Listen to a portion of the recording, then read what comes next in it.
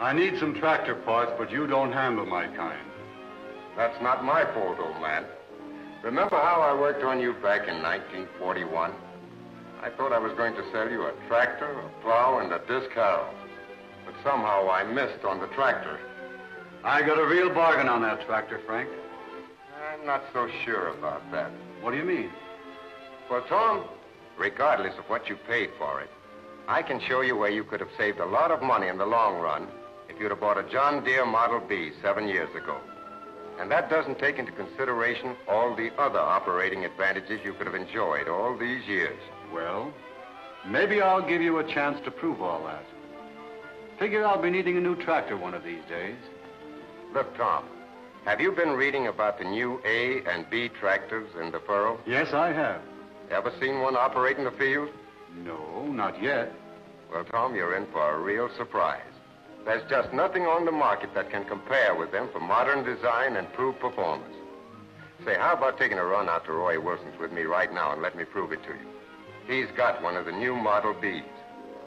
I ought to be getting home, Frank. It's close to dinner time. Come on. I'll buy you a sandwich when we get back. Maybe even a cup of coffee.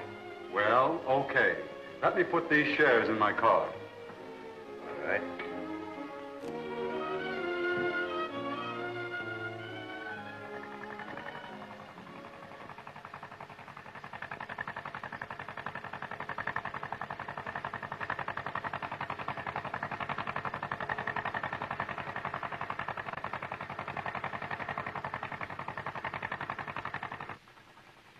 Young Bill's behind the wheel.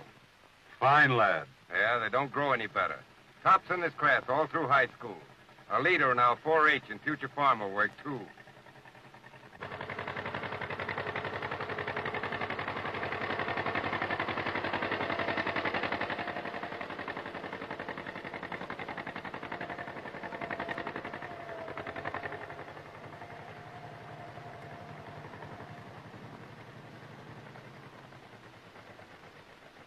Hi, Mr. Smith. Hello, Mr. Jennings. Hi, Bill. Hiya. How's she doing, Bill? Swell, sure as a honey. Our old B was a good tractor, but this one's even better. Walks right along in third gear, and the old one did in second. Is this the gasoline model? That's right, Mr. Jennings. You know, there isn't much difference between the price of gasoline and distillate around here, and we needed the extra power. Is extra power the only thing you like about this new job, Bill? Hey, are you kidding? Say, I could make your list a yard long. Well, go right ahead. Mr. Jennings came along because he wanted to see a new John Deere and find out more about its new features. Well, one of the newest things is its Roll-O-Matic front wheels.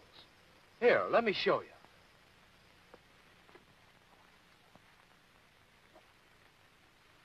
There's the new Roll-O-Matic feature, Mr. Jennings.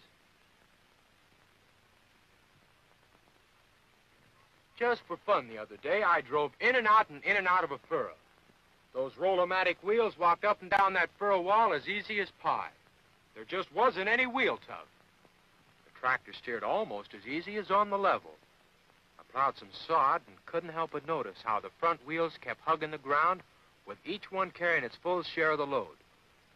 That saves plenty on tires. I've disc corn stubble with this tractor, too. That was always rough going. But with these Roll-O-Matic front wheels, the tractor rides a lot smoother. Because up and down movement of the front end is just half what it is with ordinary wheels. You might call that knee action. You've got the idea, Tom. That's what we do call it. Roll-O-Matic knee action front wheels. Has any other tractor got this feature, Mr. Smith? No, sir, Bill. Roll-O-Matic is an exclusive feature. Another John Deere first. They were first with hydraulic power control, too. Did you ever see it work, Mr. Jennings? No, only in motion pictures. I'll show you.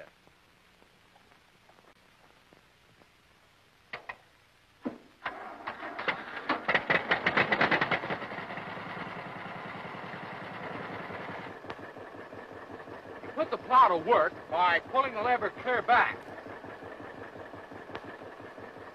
Raise it by pushing the lever way forward. Anytime you want to change the setting on the move, you just push the lever slightly forward or back into the slow speed range.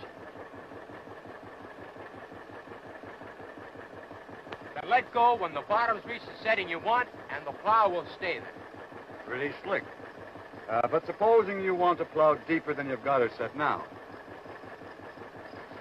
You simply lift these two pins. And lengthen the stroke of the cylinder.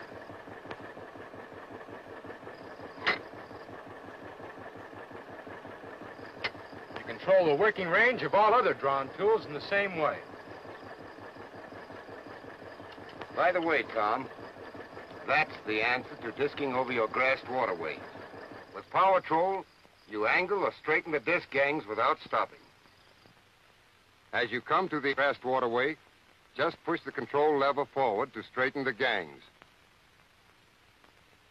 Once you're across, pull it back and your harrow goes into full cutting angle again. You keep going until you finish. You get over your fields in a hurry when time means money. Say, that is a feature. The power lift on our old B was swell, but it couldn't hold a candle to this Powr-Trol. In cultivating or operating other integral tools, which are lifted and lowered from the rock shaft, Powr-Trol operation is similar to the hydraulic power lift we had on our old B, except for the depth control, which is something new. We quickly and easily get any desired position between maximum working depth and maximum lift without stopping or even slowing down to meet different field and crop conditions. There's just nothing on the market like Powr-Trol, Mr. Jennings. With the rock shaft for integral tools and the remote cylinder for drawn machines, there's hardly a piece of equipment we have to raise or lower by hand. Believe me, that certainly saves a lot of time and hard work. You're really sold on a John Deere, aren't you, Bill? You bet I am. Dad says I brag too much about this tractor, but I can't help it. Keep it up, Bill. Maybe I'll put you on my payroll. He's a better salesman than you are now, Frank. Why don't you get up on the seat, Mr. Jennings? Okay, Bill.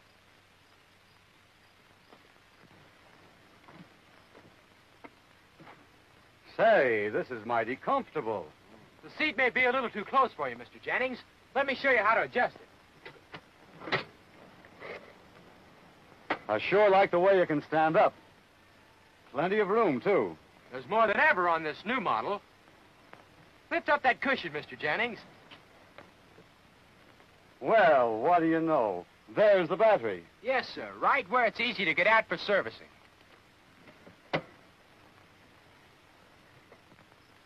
Uh, what's this, the choke? Right. It's not the same type as on your tractor, Tom. This one is semi-automatic. You pull it out, and it adjusts itself to prevent flooding when the engine starts. Looks like a good feature. Here's the starter button, the light switch for both front and rear lights, the control lever for opening and closing the radiator shutter, and all the gauges are right here in front of you. This is the shift lever for handling all gear changes, six forward speeds and one reverse, and here's your hand clutch. I don't think I'd like a hand clutch. Why not, Tom? Well, I'm used to a foot clutch. A foot clutch is okay on a smaller tractor, Tom, where you can back into most of your equipment and hook up without getting off the seat. But with a tractor of this size, you're pulling larger plows, disc harrows, and other drawn tools. And there are a lot of times when you have to get off the tractor. With this hand clutch, you can hook up your drawn implements or operate your belt-driven machines right from the ground. And here's another advantage. You're on that tractor for long periods at a time. If you want to stand up a while, you can operate the hand clutch without sitting down. I never thought of that. Why don't you take her around once, Mr. Jennings? By golly, I will, Bill.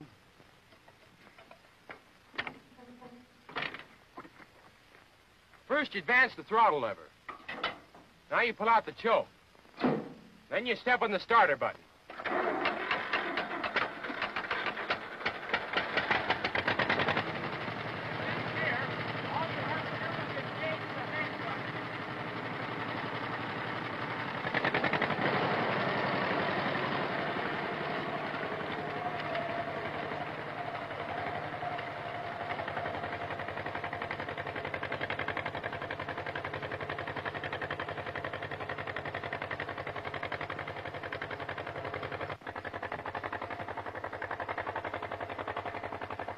Mr. Jennings was getting hungry when I talked him into coming out here, but it looks like he's forgotten all about eating.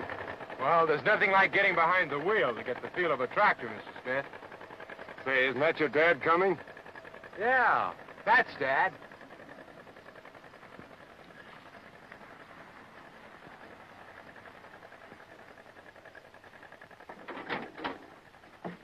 Hiya, Frank. Hi there, Roy.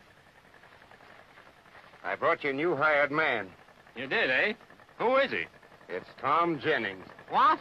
How'd you ever get him on a John Deere tractor? Bill did it. Just told him how easy it is to handle, and he wanted to see for himself. Well, I'll be. Say, Bill, will you run those groceries I've got in the car up to the house? Mother's waiting for them. Sure, Dad.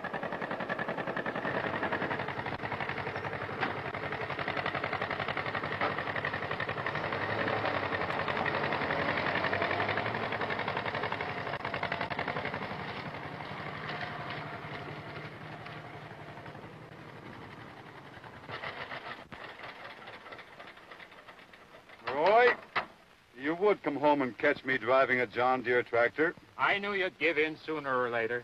How do you like her? Fine. I even had her in fourth gear.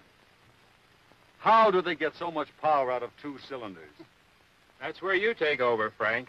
I know it's there, but you know why. Well, Tom, it isn't the number of cylinders in a tractor that determines its power. It's the bore and stroke and compression ratio, plus the efficiency with which the fuel is burned. To begin with, this new B and the gasoline A have entirely new engines. Let's see. Yeah, I've got a folder here that'll show you what I'm talking about. Here's the cross section of the engine. Now, see this eyebrow just over the intake valve? It forces the incoming fuel and air downward in a swirling motion, creating greater turbulence. Uh, that looks like a cyclone there.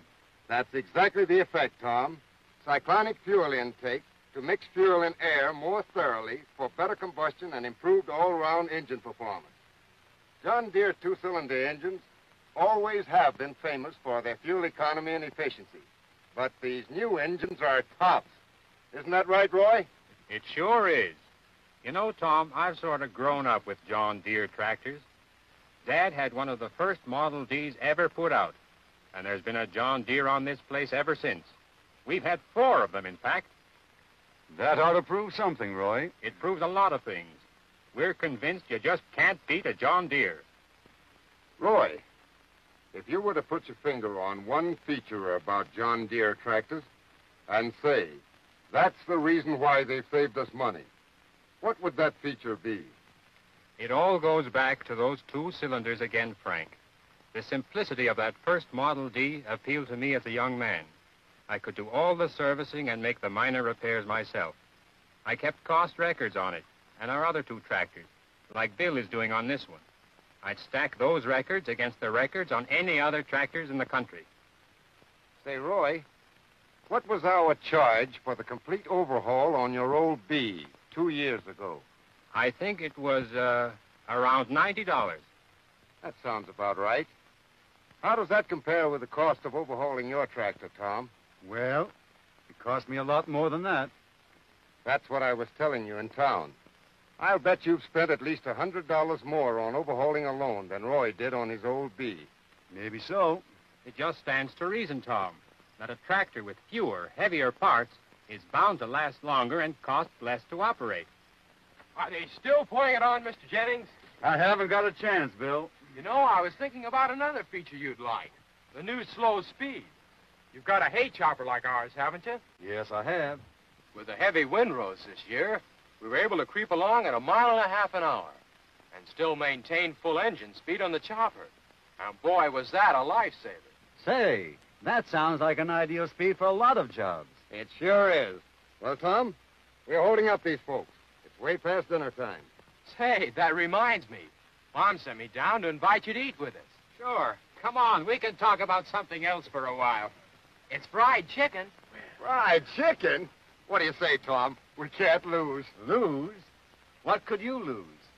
First, you get Roy and Bill to gang up on me and sell me a tractor. Then you get out of buying my dinner like you promised. I think you win. Twice.